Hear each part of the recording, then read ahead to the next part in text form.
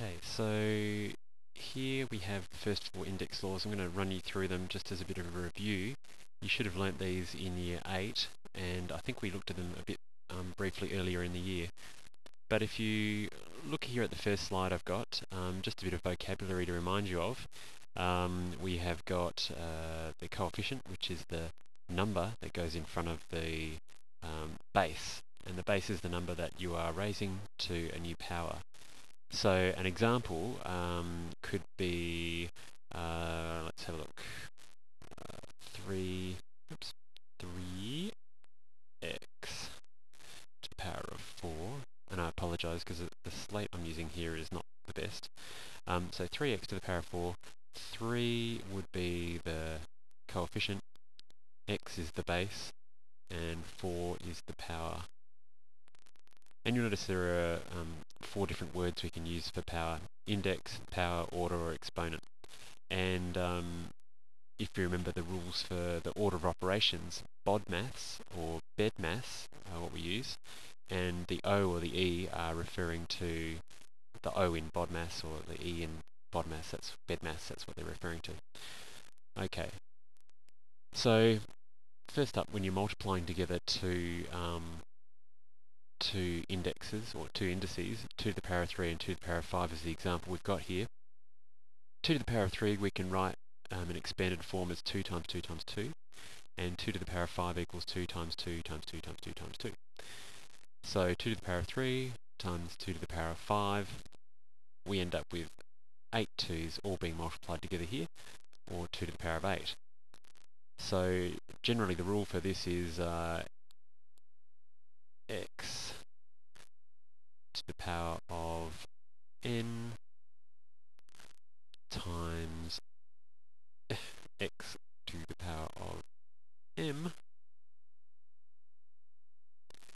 equals x to the power, oops, take that back, x to the power of m plus n. And that should be familiar to you already. And uh, when I set some questions for you to do, then you should be able to do that.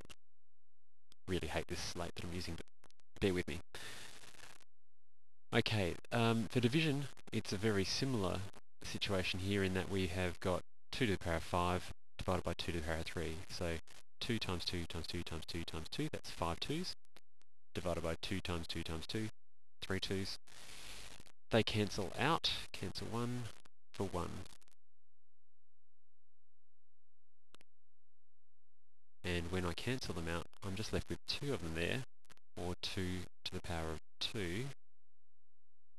And you can see the general form down here, written out already. Whereas before when we were multiplying them it was m plus n, when you are dividing you actually need to subtract.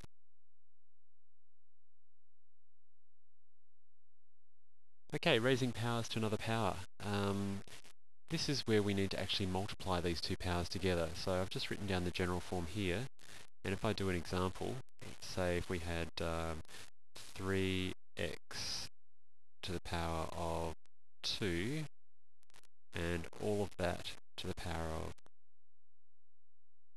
3, I need to raise everything inside here to the power of 3. So I, I don't mustn't forget to raise the coefficient to the power of 3.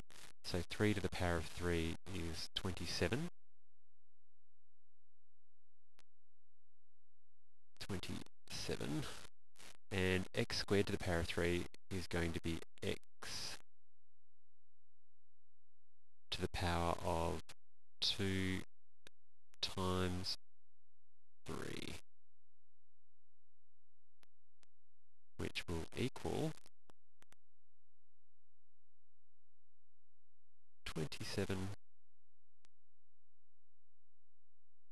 x to the power of 6.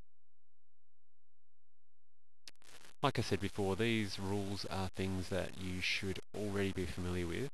So we're just going to, I'm going to give you a few questions to do um, for you to check on the online learning platform just to um, refamiliarize yourself with it. Okay, um, the the other thing, the other, the last rule is that x to the power of 0 is always equal to 1 if x is not equal to 0. So 0 to the power of 0 would still would just not, not be anything.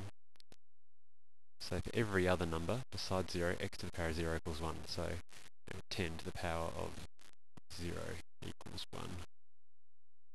Yay, got that right. Okay, um, stay tuned. I'm going to introduce to you um, the further laws, because you've learnt the first four. There are other laws, uh, index laws, and I'll introduce them to you um, next Monday and give you some further work. But um, look for the other work on the OLP. Bye for now.